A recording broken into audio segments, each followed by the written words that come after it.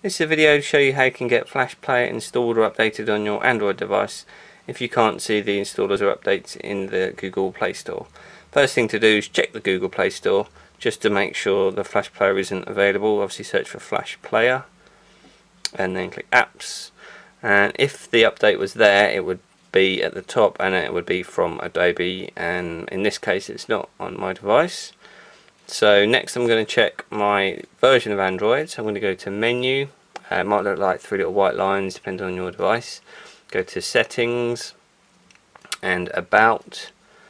And in this list here I can see my Android version is 2.3.4 make a note of that remember that. Then I'm going to go back into menu and settings again. And I'm going to go to applications. And there's a little uh, tick box here called unknown sources and that allows installation of non-market applications. Just make sure that's ticked. If it's not when you do tick it um, you'll probably get this warning just telling you obviously be careful what you install. Um, if you're worried once it's installed complete just untick it and, and leave it as it was. So um, I'm going to check what version of Flash I have. So I'm going to go to my browser. I'm going to put the link to this page in the uh, video description and on here it will list the version. I have uh, version 10.3.1863 installed. This is the version that came with my device.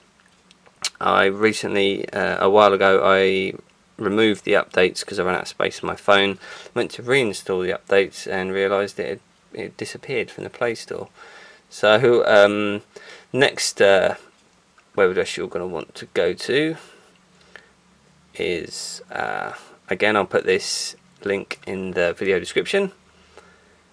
Go to this page here and this is basically an archive of all the different uh, flash players flash player versions. Take a while to load. Scroll down the list until you get to the Android versions. So we have version for Android devices 4, so you want to go to the top one on that list if you've got a version, Android version 4, and here's the list for Android version 2 and 3.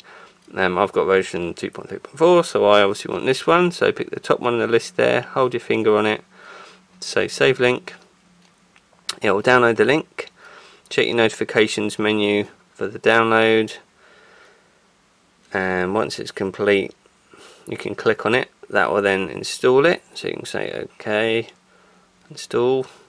Take a little while. Just wait for that once it's installed don't bother clicking open because it won't do anything. Just click done.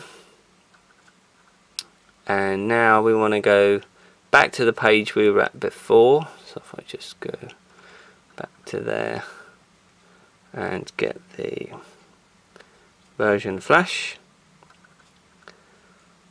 And on the same page we one before and now it says I have version 11.1.1.1.1.4.4 and that's it. So Flash Player is installed